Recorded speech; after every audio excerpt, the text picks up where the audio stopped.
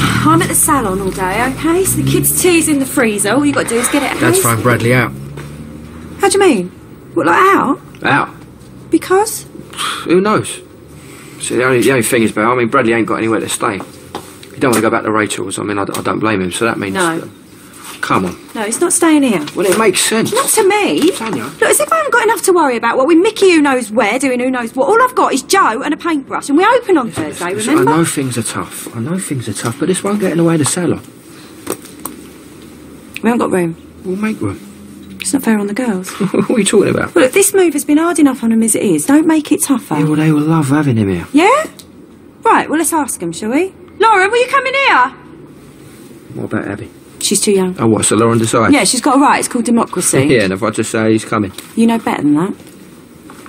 Just back, come here, sit down. Right, come here. How would you feel, right, if Bradley came to stay?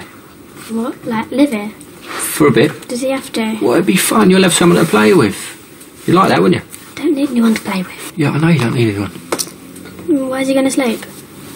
Uh, Well, I'm not sharing with Abi. yeah, I mean, that's okay. I Don't want him to come.